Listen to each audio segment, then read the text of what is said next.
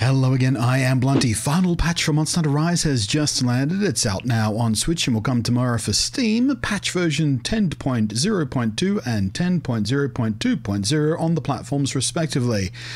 And well, I, I, say final patch, but really it's just the final patch to base Rise before the new expansion Sunbreak launches tomorrow.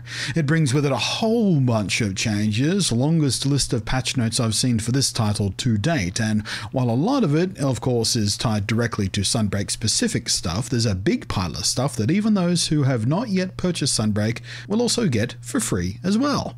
Chief amongst these changes is a big list of weapon balancing and other adjustments like changes to combos and such. Far too many to dig through in this video, so you can check those out for the weapons you care about most or news in the patch notes, which I'll link below. But, as the last video I'll make about base Monster Hunter Rise, I wanted to bump through some of my favourite changes these patches are bringing because a lot of them are really nice quality of life things but I've been gasping for for quite some time. First notification you get is a free character edit voucher, of which there was already one in the store if you hadn't noticed that yet, but a new one just in case you used that other one already. And this is important because the patch brings some new character customization options, new hairstyles, new makeup, new face paint, new facial hair. I can't wait to see what that is, new eyebrow options. Although it seems like these are only actually available to those who actually get Sunbreak, as I couldn't see them in the editor for Base Rise. I suspect the patch just includes support for displaying them in Base Rise, so when Sunbreak plays multiplayer with Base Rise only players, which is still totally possible by the way, they can still appear correctly. Oh well. Then we get some new high rank versions of the black belt gear. I did a whole video on the basic version of the black belt gear recently. This is just a high rank version of that to help returning players burn through the base game fast to get to Sunbreak content. It is not recommended for brand new players though. They're a little bit OP and will give you a false sense of how the game flows and might give you some bad habits about tanking some hits you shouldn't really be tanking. We also get some Elgado themed layered armor for ourselves, just a shirt and pants unfortunately, which seems weird, but you know, whatever. They do happen to work quite nicely with the mixed layered set that I've already been wearing recently, so I'm pretty chuffed about that. And of course we get some for our buddies too, although once again they're not complete sets, just a vest for the cat and a collar for the dog. They are nice though, so, you know, whatever. There's a supply kit. There'll also be another supply kit in Sunbreak for those of you who've played the demo, by the way. So, two supply kits, really. Onto new menu options, including hit effects. Hooray! Finally, we can turn down the splashy anime style over the top hit effects from both our own weapons and those of other players, each discreetly adjustable. I do kind of wish you could turn them down lower than 25% though, but you know, I'll take what I can get, I guess. Very welcome change all the same that will help with visibility, especially on hunts for the smaller monsters. Oh, and no more forced Wyvern riding! Now we can make it so we can just keep attacking when the ride state triggers instead of just triggering a mount if you even so much as look at the monster sideways on a sad day when you're thinking about ice cream. Both the hit effects options and the new mount options were actually in the Sunbreak demo and were fantastically welcome. They are both options I adjusted before I even went into my first fight in the demo. As a matter of fact, I'm looking forward to them that much. Oh, and hey, finally we get an on-screen UI element to actually tell us how many Dango tickets we have stocked up, you know, before we use them. So that's quite nice as well. Oh, and a much requested talisman lock feature finally arrives today as well to save you from accidentally or clumsily deleting or recycling your best talismans or talismans you think just might be handy sometime in the future. So you just want to make sure you don't accidentally churn them through the system again. Really, really welcome. That really should have been there since day one, in my opinion, but mm, better late than ever, I guess. Speaking of, melding specific items now display first on the list when selecting materials at the melding pot, so you can more easily burn through those which have no other use in the game except for talisman farming before you use materials that are useful for other things also.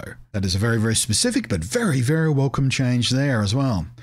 The number of amiibo you can use each day at the market has been increased to six. Of course, with Sunbreak coming with three new amiibo to join the existing three from Base Rise, this makes sense. Although, it seems, at least right now, the lottery it triggers is still limited to three a day in Base Rise. I don't know if Base Rise is going to change when Sunbreak rolls out and the actual extra amiibos are released, or whether it will always be limited to three unless you upgrade to Sunbreak. Either way, I expect all six in Sunbreak will trigger a lottery roll. But this one is one of those wait and see kind of things, I suppose. We'll know tomorrow, I suppose. New features for the camera, including one I've been begging for, being able to just disable the camera UI overlay. Um, maybe only super useful or interesting to some folk out there, but for content creators like me, oh yeah, we're all very excited about this. It opens up a lot more options for when we're creating content. Plus, there are some other camera features too, like making your buddies and any NPCs in frame with you turn to face the camera, so that's also really nice. If you're on PC, you also get a whole bunch more options, including depth of field, background blurring, and a bunch of new filters and stuff. Sadly, Switch doesn't get that. Oh well. Another highly requested feature a new option to perform wall running without using a wire dash first and burning one of your bugs. And you can further customize how this works too. So, for example, you can stop auto wall running if you've got your weapon out, because that would be a pain in combat for a lot of people. You can turn off auto running altogether and just do it the old way, or you can just turn it off during combat, regardless of your weapon sheathing situation situation. Also, massive improvements to changing direction while wall running, which is much more responsive now, and latching onto a wall if you hit one while falling works perfectly now too. Hooray for that, thank goodness. Keeps getting better. Recovery items with drinking animations like potions now can't be accidentally used when they won't actually do anything for you. So no accidental potion sucking while on full health anymore. Doesn't happen to me often, but I have wasted a few potions by doing that, I will admit. The items that won't help you at the time, but still have team effects, can still be used when your health is full and whatnot. So, you know, that doesn't interfere with that stuff, which is also good. You can't accidentally drink two Mega Demondrugs or Armorskins if their effect is already active. I've done that before a few times too. Accidentally drink two of these precious potions. Very annoying. Can't do that anymore. The game won't let you. Your player character just looks at the bottle and goes, yeah, actually, no, no, not right now, thanks. I'm full. Couldn't drink another drop, mate. Of course, this also means things like no more wasted nulberries. You you get the idea. It's it's really nice. They'll also stop playing the full drinking animation of things like potions if you only need a little heal. So no more having to roll cancel out of the full animation anymore. Really, really nice. You just the animation plays for as long as you need to drink to recover to your full health, or until the potion is gone, whichever comes first. Oh, and one of my biggest bugbears has finally been fixed. If you've ever watched me stream this game, you'll hear me screaming at my dog when I'm trying to mount the damn thing to sharpen in the middle of combat or whatever.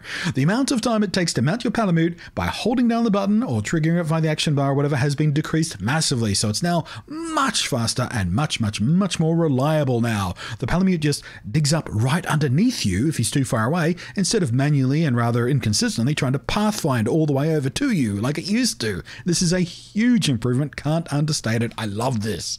The weaponry window at the smithy now loops back to the opposite side, both left to right and top to bottom, when moving the cursor past the edge of the window horizontally or vertically, making navigating these trees much easier and much faster. And I appreciate that one a lot, and I'm sure I'll appreciate it even more when these lists get expanded massively by all the new master rank options we'll be getting tomorrow. The patch notes are extensive, including, of course, squishing a few more little bugs and whatnot. I would encourage you to have a flip through them. There's lots of interesting stuff there that may or may not be interesting to you. It's good to know about these things instead of, you know, just stumbling through the game for hours and hours and hours and hours until you finally stumble across it or someone does and you go, oh, I didn't know you could do that. Well, this is, this is how you find out about some of this stuff. It's buried in the menus, and if you go looking for it, you'll find it, but, you know, it's also helpful to know that you should be looking for these changes, I suppose. So, yeah, read the patch notes. Or, you know, don't read the patch notes and just rely on content creators like me to tell you all about the nifty things. Because, you know, we need the views. I guess mostly I just wanted to share a few of the nice quality of life things that even non Sunbreak players are getting today. Plus, uh, you can probably hear in my voice, I'm pretty hyped about the new expansion. Can't wait to play it tomorrow. I'll be streaming it tomorrow. Of course I will. Over on twitch.tv slash bluntnate. I would love it if you came along and, and check me out there. Give me a follow. You get notified when I go live. Follow me on Twitter. I'll post when I go live there as well. Come hang out, see the new stuff, have a chat about it, explore it with me, see how excited I get, see if I get overexcited.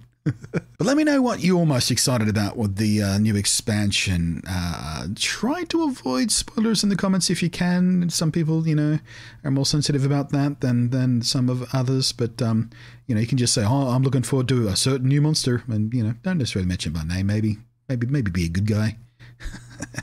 and if you are going to be a dig about things, expect your comment to be deleted because that's the way I roll. Not too worried about you spoiling me, but I will look after my other viewers.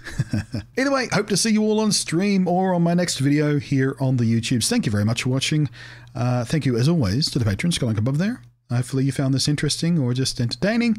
I am Blunty. Thank you again for watching, and I will catch you next time.